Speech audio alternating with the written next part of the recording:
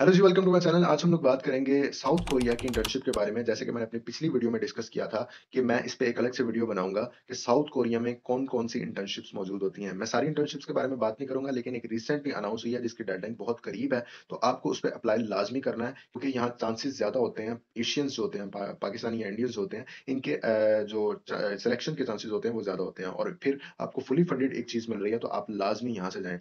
Specially हमारे जो पाकिस्तानी लोग होते हैं, वो इस पर इन तरह के जो अपॉर्चुनिटीज़ को मिस कर देते होते हैं, जिसकी वजह से बाकी जो ना वो उन सीट्स को ले जाते होते हैं। तो आप इस पे लाज़मी अप्लाई कीजिएगा, बाकी भी करें, सब अप्लाई करें क्योंकि यहाँ पे एक्सेप्टेंस चांसेस चांसेस ज़्यादा होते हैं। KAIST summer research internship program है, जो कि साउथ कोरिया में जो है ना वो आपको स्पॉन्सर किया जाएगा और इसको जो है ना वो इसकी डेट्स जो हैं, वो भी मैं आपको साथ डिस्कस करूँगा। एक-एक चीज़ को हम लोग डिस्कस करेंगे। इसका अप्लाई करने का लिंक जो है, एप्लीकेशन लिंक मैंने डिस्क्रिप्शन में दे दिया हुआ है। जैसे कि मैं हर अ, काम में, हर जितने भी मैं अपनी वीडियोज़ बनाता हूँ, उसमें हर चीज़ का लिंक जो है ना, वो मैं अपनी डिस्क्रिप्शन में लाज़मी देता होता हूँ। तो ये एक रिसर्च इंटर्नशिप प्रोग्राम है, जो कि आप लोग अप्लाई करेंगे। इसकी सारी डिटेल्स मैं एक-एक करके डिस्कस कर रहा हूँ। वीडियो को एंड तक देखना है, एंड तक देखने के बाद फिर कमेंट करना है या मैसेज कर सकते हैं आप इंस्टाग्राम पे, तो अ, मैं आपको रिस्पॉन्स लाज़मी करूँगा। अच्छा जी, ये फुली फंडेड प्रोग्राम जो है ना, ये इसका टाइटल आपको नीचे नज़र भी आ गया तो इसके ऊपर जो है ना, वो आप लोग अप्लाई करेंगे। इसकी डिटेल्स के बारे में बात करें, तो इसका होस्ट कंट्री आपको पता ही है, साउथ कोरिया यूनिवर्सिटी का नाम जो है केएआईएसटी यूनिवर्सिटी है, इसकी फुल फॉर्म जो है ना, वो आप लोग गूगल कर सकते हैं। आपको यहाँ पे शो भी करवा देंगे। उसके बाद इंटर्नशिप की डेट्स क्या हैं? जून 2024 से 16th अगस्त 2024 तक का ये प्रोग्राम है, यानी कि ये जो है ना, वो आपके पास इसी 2024 के जून और अगस्त के दरमियान में होगा, ठीक है? तो डेट्स भी उन्होंने साथ-साथ दे दी हैं। इसकी डेडलाइन क्या है? अप्लाई करने की डेडलाइन लाज़मी याद रखनी है, इसको नोट कर लेना, 31st मार्च 2024 अब डेडलाइन जो है इसकी 31st मार्च 2024 है, तो आपको इससे पहले-पहले अप्लाई करना है। डेडलाइन का वेट नहीं किया करें, इंसान के दिमाग से निकल जाता होता है, हम भूल जाते हैं, तो ये चीज़ें रह जाती होती हैं, हमारी अपॉर्चुनिटीज़ मिस हो जाती होती हैं, ठीक है? तो इसके लिए जो है ना, वो आपने लाज़मी इसकी डेडलाइन से पहले-पहले अप्लाई करना है। जैसे ही आपको टाइम मिले, आप इस पे अप्लाई करें, लाज़मी करें, डेडलाइन का वेट नहीं करना है, ठीक है? इंटर्नशिप के जो बेनिफिट्स हैं, वो कौन-कौन से हैं? तो इसमें सबसे पहले तो आपको अ, एयर फेयर टिकट दिया जाएगा। जितने भी इंटर्न्स होंगे, जो-जो सिलेक्ट होगा, उन सबको एयर फेयर टिकट दिया जाएगा। एयर फेयर टिकट के साथ-साथ आप लोगों को अकोमोडेशन भी दी जाएगी। आप वहाँ पे रहेंगे, तो आपके रहने का भी सारा इंतज़ाम इसी स्कॉलरशिप के जो है ना, वो एडमिनिस्ट्रेशन करेंगे, ठीक है? उसके बाद आपकी ओपनिंग सेरेमनी होगी, तो ओपनिंग सेरेमनी होना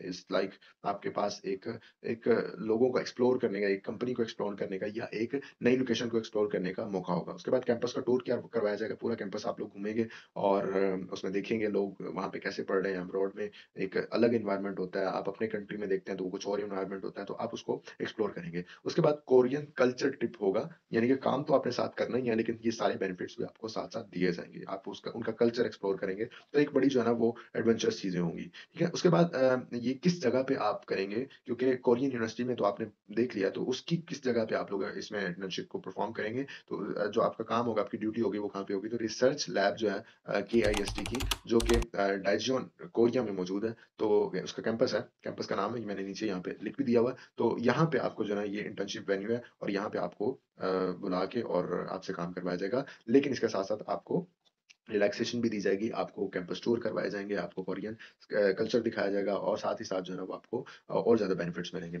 अब बात कर लेते हैं हम लोग एलिजिबिलिटी क्राइटेरिया के बारे में। कौन-कौन एलिजिबल है इस इंटर्नशिप के बारे के लिए? तो उसने कहा कि जितने भी ओवरसीज़ स्टूडेंट हैं, यानी कि कोरियंस के लिए तो है नहीं है, ये इंटरनेशनल है, तो कोरियंस इसमें अप्लाई नहीं करेंगे, बल्कि जितने भी ओवरसीज़ हैं, जैसे पाकिस्तानी हैं, इंडियन हैं और पूरी दुनिया से कहीं से भी लोग हैं, मैं तो उन्हीं के लिए वीडियो बना रहा हूँ, जो हमारी लैंग्वेज को समझ सकते हैं। तो आप किसी भी कंट्री से हैं, आप लोग अगर 3rd या फोर्थ ईयर में। हैं, डिग्री के थर्ड या फोर्थ ईयर में, इसका क्या मतलब है कि आप चार सेमेस्टर्स कंप्लीट कर चुके हैं। First and 2nd year complete हो गया चार साल में हार्डली आपके 4 सेमेस्टर जो है ना वो सॉरी 2 साल के अंदर आपके 4 सेमेस्टर जो है ना वो कंप्लीट होते हैं। तो आपने चार सेमेस्टर्स कंप्लीट कर लिए हुए हैं, तो आप इस पर अप्लाई कर सकते हैं, आप इसके लिए एलिजिबल हैं। अच्छा, इसमें अंडर ग्रेजुएट और मास्टर स्टूडेंट दोनों ही कर सकते हैं इस पर अप्लाई।